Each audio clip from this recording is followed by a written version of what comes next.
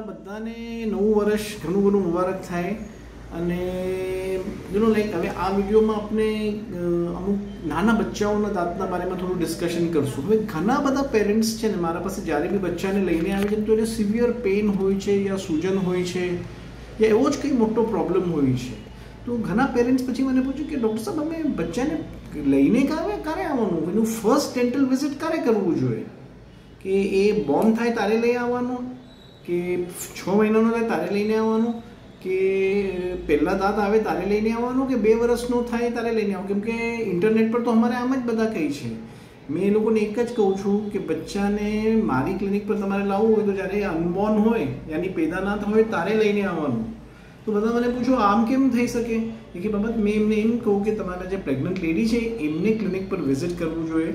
હું પહેલાં એમનું ડેન્ટલ ચેકઅપ કરીશ ને એમને કંઈ ડેન્ટલ ટ્રીટમેન્ટ કરવું હશે, એ કરાવીશ ને પછી જે એમને ડેન્ટલ કેર લેવાની પોતાની, એ પહેલાં શીખવાડીશ પછી આપણે નેક્સ્ટ સ્ટેપ બચ્ચાના બારેમાં ડિસ્કસ કરીએ છીએ કે ભાઈ બચ્ચું જ્યારે બોર્ન થાય છે, તો આપણે શું શું કેર લેવી જોઈએ? બિકોઝ એની કેર ઘણી ઇમ્પોર્ટન્ટ છે.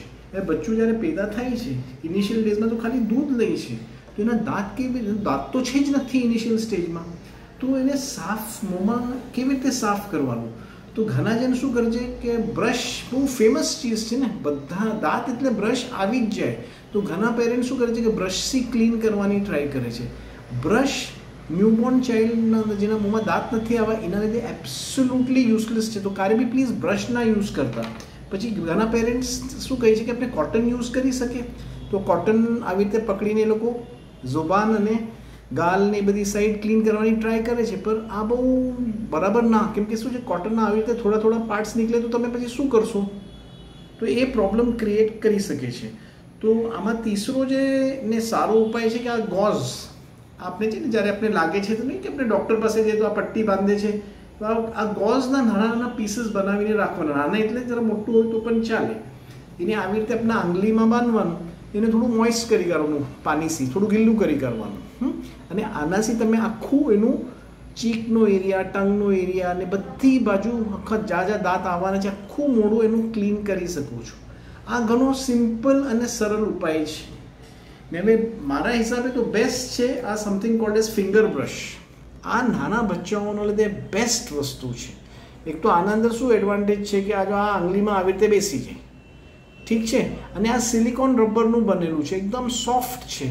તો આનાથી તમે આરામથી બચ્ચાનું આખું મોઢું ને જબાન ક્લીન કરી શકો. એકદમ સાફ છે અને આમાં લાગવાની પણ ફિકર ના હોય. હવે આ કોટન જેવી વસ્તુ હોય તો ગલી જાય યા કંઈ એવું કંઈ પ્રોબ્લેમ થઈ શકે, પણ આમાં એ કંઈ જરા બી ટેન્શન નથી. તો આ મારા હિસાબે આ ફિંગર બ્રશ તો બહુ ઇઝીલી અવેલેબલ છે ને બધા જ મધર્સને ઇનિશિયલ સ્ટેજીસમાં આ વાપરવું જોઈએ. હવે બીજું જે આપણે મારા નેક્સ્ટ વિડીયોમાં ડિસ્કસ કરવાના છે કે ઘણા પેરેન્ટ્સ પૂછે છે કે ભાઈ, અમે કયું ટૂથપેસ્ટ વાપરીએ બચ્ચાના માટે? કે અલગ ટૂથપેસ્ટ છે કે? માઉથવોશ ક્યારે વાપરવાનું? એ પણ ઘણો મોટો ક્વેશ્ચન હોય છે. પછી ફ્લોસ ક્યારે કરવાનું? આવા ઘણા ક્વેશ્ચન્સ પેરેન્ટ્સના માઇન્ડમાં હોય છે. તો મારા નેક્સ્ટ વિડીયોમાં મેં હું એ ડિસ્કસ કરીશ. હવે મારું એક જ રિક્વેસ્ટ છે, તમે સગલા મારા ચેનલને સબસ્ક્રાઈબ કરો. વ્યૂ કરો અને તમારે મનમાં કંઈ પણ ડાઉટ હોય કમેન્ટ સેક્શનમાં નાખો. I will more than I will more than happy to answer that thank you very much for your time thank you ભાઈ